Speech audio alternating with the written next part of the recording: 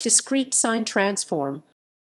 In mathematics, the discrete sine transform DST is a Fourier-related transform similar to the discrete Fourier transform DFT, but using a purely real matrix.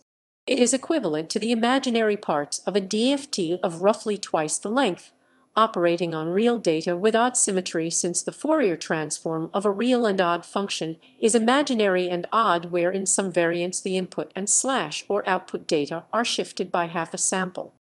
A family of transforms composed of sine and sine hyperbolic functions exists. These transforms are made based on the natural vibration of thin square plates with different boundary conditions. The DST is related to the discrete cosine transform DCT, which is equivalent to a DFT of real and even functions. See the DCT article for a general discussion of how the boundary conditions relate the various DCT and DST types. Generally, the DST is derived from the DCT by replacing the Neumann condition at x equals 0 with a Dirichlet condition. Both the DCT and the DST were described by Nasir Ahmed T. Natarajan and K. R. Rao in 1974.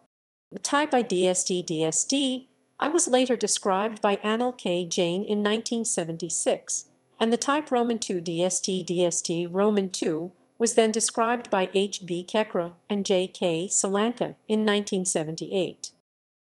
Applications DST are widely employed in solving partial differential equations by spectral methods where the different variants of the DST correspond. Informal overview definition, mm-hmm. and definition. Formally, the discrete sine transform is a linear invertible function f R and Rn, where R denotes the set of real numbers, or equivalently n and x square matrix. There are several variants of the DST with slightly modified definitions. The n real numbers x0, xn1 are transformed into the n real numbers x0, xn1 according to one of the formulas DSTI, STIA, STIA, STI, DST Roman 2, DST Roman 3, DST Roman 4, DSTV Roman 8, DST types I Roman 4 are equivalent to real odd DFT of even order. In principle, there are actually four additional types of discrete sine transform Martoxide 1994 corresponding to real odd DFT of logically odd order, which have factors of n plus 1 slash 2 in the denominators of the sine arguments. However, these variants seem to be rarely used in practice. Inverse transforms is forms the inverse of DST I is DST I multiplied by 2 slash n plus 1. The inverse of DST Roman 4 is DST Roman 4 multiplied by 2 slash n.